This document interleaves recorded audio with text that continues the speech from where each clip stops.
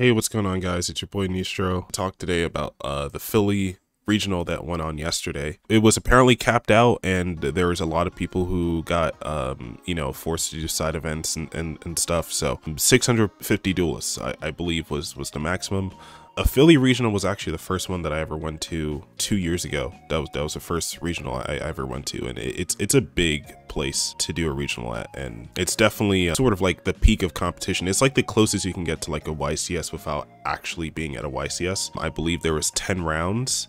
We don't know all the top decks just yet, but we do know the three of the top eight placements. And the first place, which inspired me to make this video, was uh, Horus Diabellstar Rescue Ace list with a lot of spice in it. So Horus Rescue Ace is already kind of spicy because you're kind of sacrificing non-engine slots to be a little more aggressive with the Rescue Ace engine. So instead of relying on hand traps, you're building a stronger board. And then it doesn't just stop there, right? So first off, we have Fire Engine and Fire Attacker in the main. Fire Engine's kind of like fallen out of favor for me because I hate getting super polyed and this card is just super poly bait. So I've kind of been cutting it from my list. Fire Attacker in the main is great. This is, this is actually what I'm doing right now. I've, I put Fire Attacker in the main deck over Fire Engine just because I feel like this comes up in more situations and if it gets removed you're less worried about it.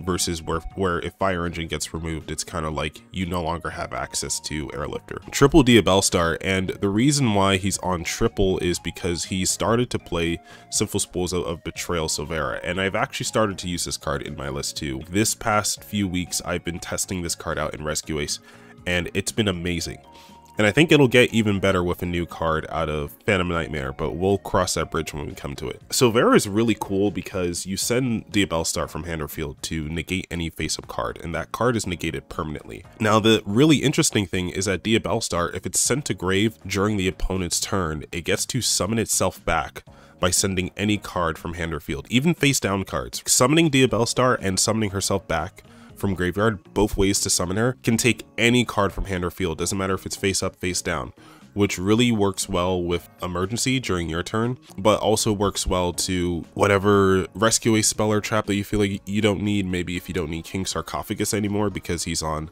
um, the Horus package, he could send that to revive the Diabellstar, and then that gives you really strong follow-up. Now, I've considered playing 3 Diabellstar. I've kind of come to figure out that I didn't really want to play 3 of them because opening multiples does nothing, basically. Like, unless I open it and the trap, opening multiple of Diabellstar herself won't really do me much favor.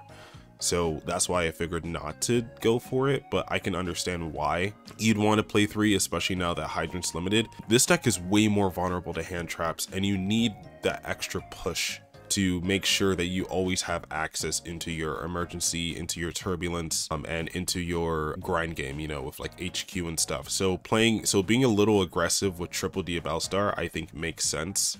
Personally, I think just three is too much, but I can understand why. Like in this format, in a format without Populace or where Bonfire isn't a one card starter for us, I can see why Triple Diabellstar would be in the list. Also, maining Triple Super Poly, Horus ratios is only 3, 3 City 1 Hapi. This is the best Horus ratio I think you can play. Uh, Triple King Sarcophagus, I think this is this is what I never understand about certain Horus list, is that they're always only on two Sarcophagus and Triple City and I I'm just perplexed by that because dropping two with Imsety is the is the like riskiest thing you can do. Like you get ashed, you just lose two cards. There's no sort of trade back for that. At least when you open King Sarcophagus, activating an Ash Blossom on Sarcophagus itself is really redundant because it can use this effect three more times that turn. I, I think it, it is better in a lot of situations to open King Sarcophagus, but I can understand why you would still play Imsety at three to have access to it, right? So that gives you six slots into it rather than just three. And yeah, so clocking in at 42 cards, this is looking pretty pretty strong, even without any hand traps. I like you you have cards like Impulse that can interact during the opponent's turn, so you're not like completely de devoid of interaction. People just taking out the Called by the Graves is just monumental to me. Like I, I'm still really surprised that people are taking out Call by the Grave from their list, but if it works for them, you know, who, who am I to judge? This really looks like a strong going second build, assuming you don't brick on some of the Rescue Ace spells and traps, and even if you do, right, like, even if you draw, like, Diabell Star with, like, Extinguish or, like, Contain, if you get to Emergency, you can just reset the, the trap cards from Graveyard, so it's really not a big deal to like open your traps in Rescue Ace, especially going second, because Emergency just gets you them back that same turn, so you don't really get punished for discarding them for activating other things. In in in this case, would be either Diabell Star or King Sark. The extra deck looks pretty standard for Rescue Ace list, only throwing in the Zombie Vampire. This is really the only thing that's different. You still have access for your Charmers, your Heat Soul lines, Linkuriboh. The only thing that's missing from here is like Relinquished Anima. That's probably the only thing that's missing. I'd probably put in Anima over, maybe over Dark. I, I just don't think Dark is as strong in Rescue Ace. Or maybe Selene but having uh, Diabell Star 3 and having Imsety being a spellcaster at 3, Selene really isn't that bad in this deck, so it, it definitely will resolve.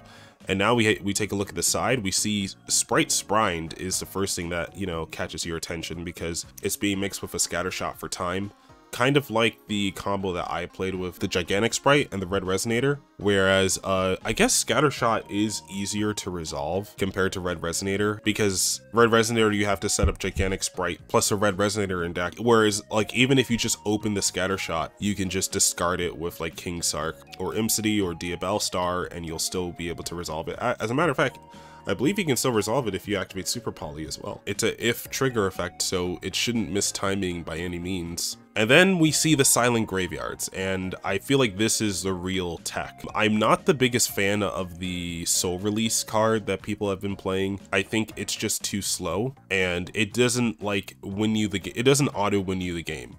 Whereas like something like Silent Graveyard, which is like imperm as a quick uh, not imperm uh, dweller as a quick play spell seems in my opinion to be a lot more effective because you can stop them when it hurts them the most and then you know uh, make your uh, push for game uh, Tearlaments can't play their turn if this resolves. Fire Kings just have to pretty much pass turn if this resolves.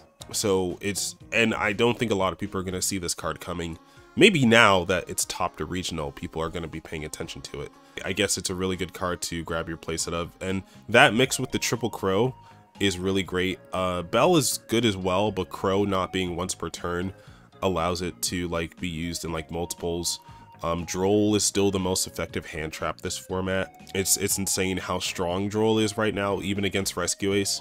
It didn't used to be good against Rescue Ace because Airlifter was at 3, but now that Airlifter's at 1, you tend to usually have to search the Airlifter meaning Droll into into that searched airlifter is a lot stronger than it used to be. And then Ash Blossom, I guess it's here because it's good against everything. So this is a really solid list. I mean, I, I'm curious as to what seven cards would be used if the Horus engine wasn't in here.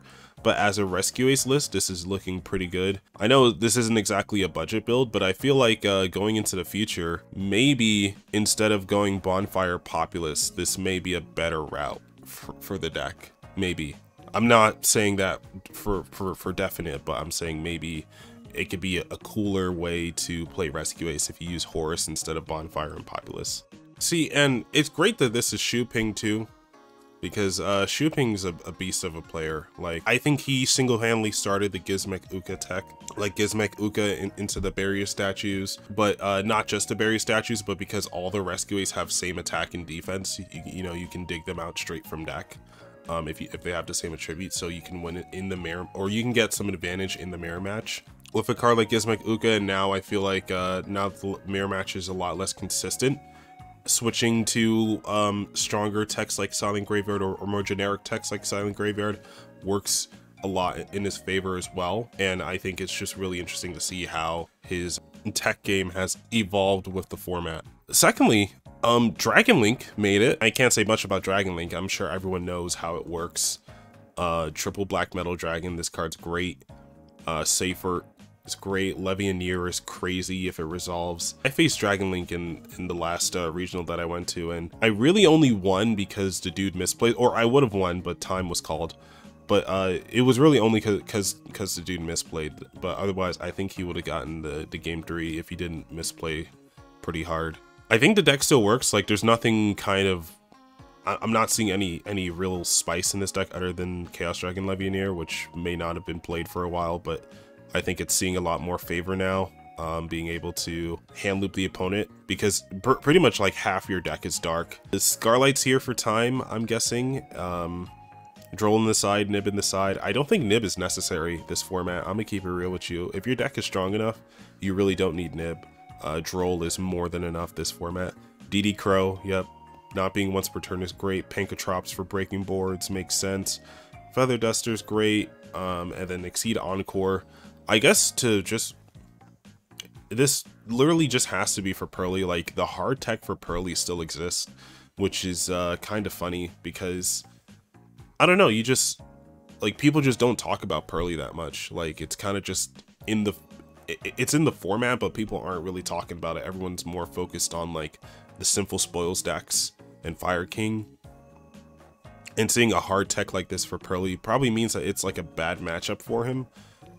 I think uh, it's really interesting that Dragon Link can, can still get uh, good results, um, even even though I think a lot of people have stopped using this deck. But it, it's a very crafty deck. It's a very like it's a deck where it's like you just have to get better as a player, and I'm sure you'll be able to, to top locals consistently with this deck.